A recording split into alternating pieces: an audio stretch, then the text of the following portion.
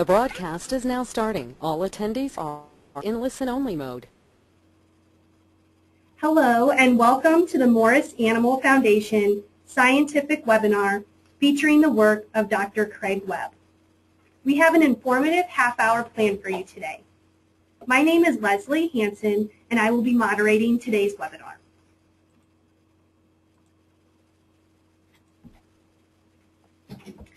Before we get started, I would like to review a few housekeeping items. To eliminate background noise, you have been placed on mute. If you have questions at any time, please use the question feature that should appear on the right-hand side of your screen.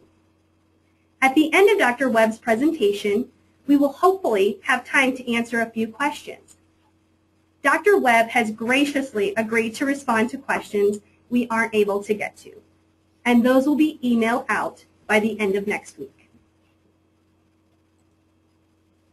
Before we get to Dr. Webb's presentation, I am pleased to introduce Dr. Wayne Jensen, Morris Animal Foundation's Chief Scientific Officer, who will say a few words about the foundation. Hello everyone, welcome. It gives me great pleasure to introduce our foundation to many of you. Our foundation was formed 65 years ago by Dr. Mark Morris Sr. You know, one of the favorite quotes I have from Dr. Dr. Morris is the one that where he stated, they've given us so much, isn't it time we gave something back? And truly, Dr. Mark Morris Sr. did exactly that. 65 years ago, he founded the Morris Animal Foundation, and today we are the global leader in investing in science to advance veterinary medicine for the benefit of dogs, cats, horses, and wildlife. To date, Morris Animal Foundation has funded more than $70 million. And we've done that um, by funding more than 2,000 studies. Our volunteer scientific advisors identify studies that are going to have the greatest impact and have the highest scientific merit. This ensures that we are funding those things that are going to, those studies that are going to make the greatest difference for dogs, cats, horses, and wildlife. We are dependent on donations from animal lovers, veterinarians, associations, and corporations to allow us to fund these great studies. And I think it speaks an amazing, amazingly that we have achieved Charity Navigator's highest rating, that being the four-star rating. At any given time, Morris Animal Foundation is funding approximately 300 studies. These studies include grants to researchers to address diseases of companion animals and wildlife, grants to, for research fellowships to train the next generation of scientists, awards to veterinary students as part of our veterinary student scholar program to introduce these students to research in hopes of encouraging them to consider a career in veterinary medical research. We also fund donor-initiated study, studies, and most recently we have embarked on a program where we fund studies where Morris Animal Foundation is actually managing the research. The first of these studies are operated under the umbrella of our Canine Lifetime Health Project, and the first study is our Golden Retriever Lifetime Study, where we are enrolling 3,000 Golden Retrievers under the age of two and following them throughout their life. This graph gives an indication of the breadth of our studies that we fund and also to some extent the, the focus. You can see that the primary categories are infectious disease, cancer, and genetics. The reason for this is these are the diseases that have the greatest impact on our companion animals and wildlife. But as technologies change and time changes, the relative proportion of these studies change and that's just a reflection on how responsive our scientific advisory board is to the current needs of animals. If you look at our, the percent funding, currently about a third of our funding goes to fund dogs. and then the rest is split equally amongst wildlife, horses, and cats. To date, when we look at some of the successes that Morris Animal Foundation's funding has been able to um, accomplish, we see more effective chemotherapy treatments, improved diagnostic tools and genetic tests for diseases affecting dogs, cats, horses, and wildlife. Um, some of our early work that we funded led to vaccines for parvovirus in dogs, feline leukemia virus in cats, and valley fever in horses.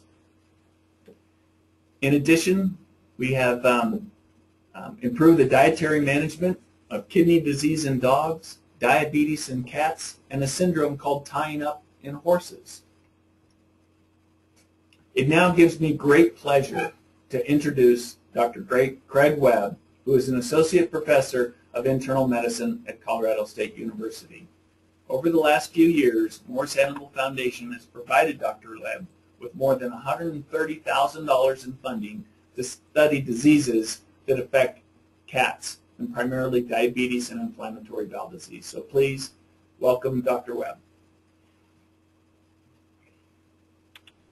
Hi guys, uh, thanks so much for uh, joining us today for this, this very special event. Uh, and thanks of course to Morris Animal Foundation not only for today but uh, the tremendous amounts of support they've given to, to veterinary schools and veterinary researchers just, uh, just like myself. Um, so that being said, uh, what I'd like to share with you today is a little bit of work we've done trying to help cats who have are suffering from vomiting and diarrhea. Now, as, as Dr. Jensen mentioned, uh, I'm at Colorado State University. I'm actually with the internal medicine group there, and that's, that's relevant to this presentation for a couple of reasons I'd like to share with you. For one, uh, I'm a clinician first, and so I'm very interested in clinically relevant research, and it turns out that Morris Animal Foundation is really one of the few organizations that targets just that kind of work. So uh, uh, they're really a, very relevant and very important source for those of us, again, on the clinic floor. Uh, also of relevance to today's presentation is that I'm an internist. So I do internal medicine sort of stuff, which makes me distinctly different, for instance, from a surgeon.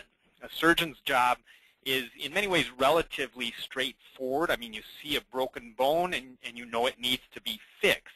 Now, the life of an internist uh, is rarely uh, that straightforward. We would love it to be. In fact, we'd love all of our cases to go somewhat like this one that I'll, uh, I'll show you next. If I can get the next slide.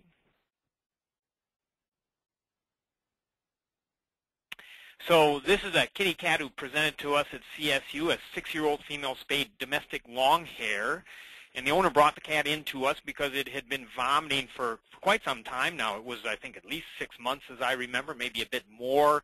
Didn't happen real often, maybe once a week at most. Usually at 2 o'clock in the morning, it turns out. The owner would be woken up by this cat making some of, some of the most horrific noises as if, as if the cat was pulling its entire insides out onto the, onto the floor. And uh, apparently not that alarmed, didn't get out of bed at the time, but the following morning always found the cat still alive and looking rather normal and rather healthy. Uh, so that's probably what delayed the owner from bringing it in to, to see us. But finally they thought, well, let's, let's have my kitty looked at. And not only did they bring the kitty in, but they were on top of it enough to bring in a product of what this kitty had been vomiting, in fact. So if I get the next slide.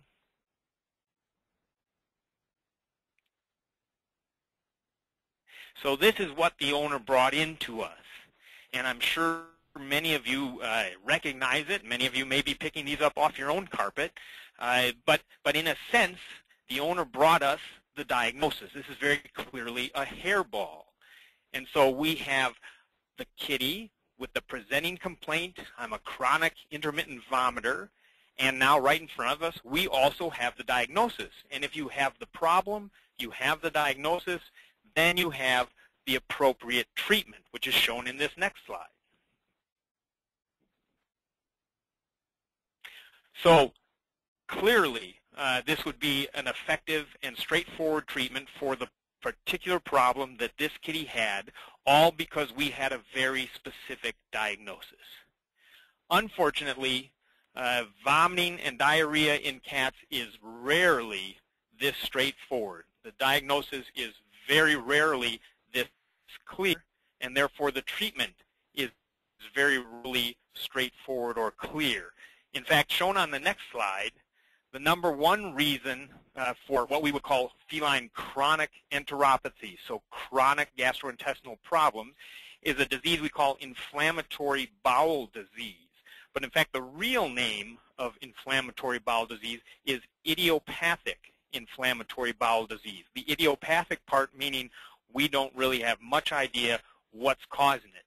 And you can imagine, if you don't really know what's causing the problem, you're stuck trying to guess at just what might be a good treatment for that problem. And as shown on the next slide, uh, the veterinary come up with a number of standard treatments for inflammatory bowel disease in kitties. You'd be a little concerned if you knew how little evidence or research there actually was behind these various treatments, just not much. But this is kind of the, the, the formula that many of us would reach for if we have a kitty that presents with chronic enteropathy or inflammatory bowel disease. Dietary intervention is a huge part of it. Uh, prednisone, a glucocorticoid, is really the foundation for many, many cats. Some veterinarians will use antibiotics such as, such as Tylosin. And unfortunately, in some cats, you have to go all the way to other immunosuppressive drugs like chlorambucil. And so this is a number, kind of a little smorgasbord of attempted treatments for a, a very common problem for which we don't really know what the underlying cause is. So as you can imagine, despite this entire repertoire of treatments, frequently the treatments fail, or as shown in the next slide, uh, the side effects of these multiple treatments just aren't great, and they aren't particularly tolerable for either the kitty or the owner. So this is what motivates interns myself to try to do the clinical research to find other alternative treatments that either work better or both work better and have fewer side effects. So, so when we're looking for uh, possibilities like that, one place we can look for some inspiration is to that okay model of cat and dog disease, our little human friends. And that's shown in the next slide. This particular patient is Kenny. He's a six-year-old male intact domestic short hair who has a chief complaint of acute onset of, of an upset tummy. And as you notice from the sign, he's got explosive diarrhea. So a patient who can't really tell you much about what's wrong inside of them, but they've got a significant problem, starts to sound like some of the cats and dogs we see. So then we look to the expert treatment of Kenny, and who better to look for for that kind of treatment than as shown in the next slide, Kenny's grandma. And what does Kenny's grandma do to help out? Well, she very likely would have tried to convince Kenny to take in some yogurt. And whether or not Grandma knew it at the time, what she really was doing was treating Kenny with what we would call a probiotic, as shown in the next slide.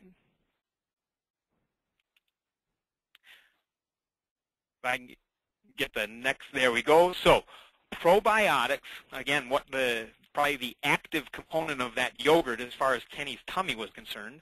Probiotics are living organisms which, upon ingestion in a certain number, exert health benefits beyond the inherent basic nutrition. In other words, beyond the few calories you get from eating some bugs. The most common probiotics used in many products are Bifidobacter and Lactobacillus.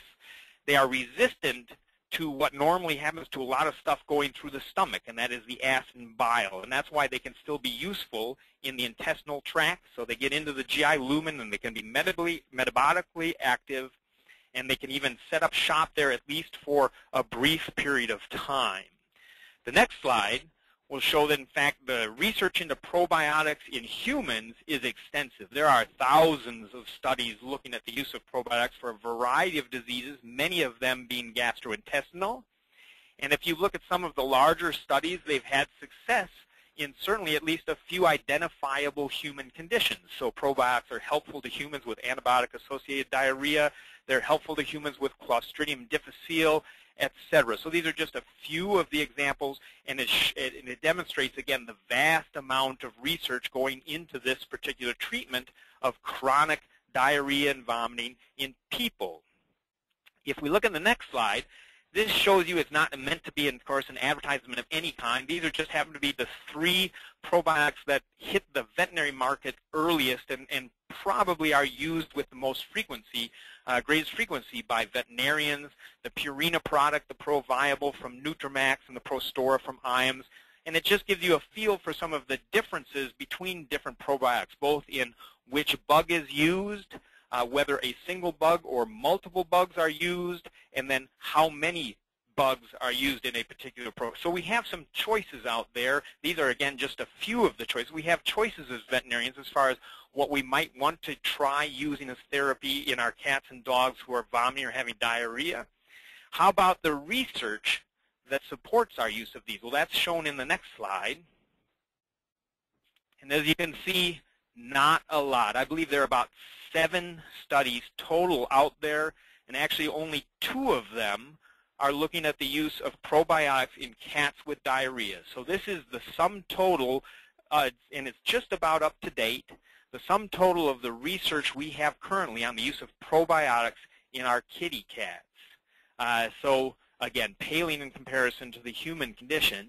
And we'll look at just those two studies that deal specifically with gastrointestinal problems in cats. The first one is shown in the next slide. And that actually comes out of Colorado State University, a study by Dr. Mike Lappin and a, a, actually a veterinary student at the time, Dr. Sean Bybee. So this is one of the students that Dr. Jensen mentioned earlier who gets supported to do research by places like Morris Animal Foundation, and, and I'm sure will go on to do many other great things uh, in his research, clinical research career. What they looked at using a placebo-blinded control study, they looked at little kitties in a shelter who had diarrhea. And some of those kitties either got Fortiflora, the Purina probiotic product. Other of those kitties got a placebo, and nobody knew which kitty got what until after the study was done. And it turns out those kitties that got the probiotic, only seven, a little over 7% of them had diarrhea that lasted longer than two days. Whereas those kitties in a shelter environment that did not get the probiotic 20, over 20% of them had diarrhea lasting for more than two days. Now, you and I may think, well, two days, that's not a, a, real long time for most of the clients I see. But if you're a little kitty in a Humane Society shelter, uh, having diarrhea for greater than two days or less than two days may be the difference uh, in your future uh, to a significant extent. So again, a short period of time, but a very important finding for acute diarrhea in these young kitties in that kind of environment. The second study is the one that we did at Colorado, and shown on the next uh, shown on the next slide. And I wanted to look at uh, at not only the acute diarrhea problem in these young kitties, but I see more, at least where I, I practice, I saw more of the chronic diarrhea in adult cats. So I said, well, it's clearly uh, probiotics are clearly of some use in these younger kitties with the acute diarrhea. What can they potentially do for these older cats or adult cats with these chronic diarrhea problems? Remember, we're looking back to the chronic enteropathies, many of which are likely to be inflammatory bowel disease. So I gave these kitties the ProViable, the Nutramax product for 21 days in 53 cats. This was not a blinded study or placebo control study, and that's important. I'll, I'll show that. I'll mention that again in, in a second. But we gave these to 53 cats for 21 days, this probiotic product. These cats had chronic diarrhea that had failed other therapies and, and just persisted. And then we asked the owners, okay, what do you think of the diarrhea now that your kitty has had this probiotic? And that's shown in the next slide. And actually, somewhat to our surprise, uh, the probiotic, at least in the estimation of the owner, was quite a useful intervention. 72% of the owners that had been struggling with these kitties with the chronic diarrhea for some time said the probiotic significantly helped firm up the stool, and we put numbers to it on a scale and all of that. But now you've got to remember, this was not blinded. This was not a placebo control, and most owners really want their kitties to do better, and they want to make their veterinarians happy. So you've got to take that 72% with a bit of grain of salt because of the placebo effect. More importantly, perhaps, for us as researchers now, is the 24 and the 4% where it either didn't make a difference or, in fact, things got a little worse. So as a clinician, yes, the 72% is encouraging, and encourages me as a clinician on the floor to say, you know, in addition to these dietary changes before we get to the other meds, maybe why don't we think, consider trying a probiotic for a period of time, see if that helps. As then a more basic research, as shown in the next slide, that 24 and 4% says, you know, probiotics don't work for everybody. If we can figure out just what they're doing inside the cat, maybe we can do a better job of figuring out just who they are going to work for. And that's shown in the next slide. That's the ongoing work from this very same research from these very same, excuse, very same cats, again sponsored by Morris Animal Foundation. We've got Jan, Dr. Jan Suchodolski off in Texas A&M looking at the microbiota. We've got Dr. Rossi in Italy looking at the histopathology. Here at Colorado State, we're looking at immunohistochemistry and cytokine levels, et cetera. And I won't go into it much because, again, I'm a clinician first, but the next slide shows us that actually serendipitously, one thing we might have found is that, and this is work done by, you see her off there on the right, Rebecca Timmons, yet another vet student sponsored by Morris Animal Foundation to become a clinical researcher. Well, she has stumbled on what might be a key to whether these kitties will or won't respond to probiotics as a therapy. And that may have to do with how they start out, either their cytokine levels or the microbiota they already have inside them.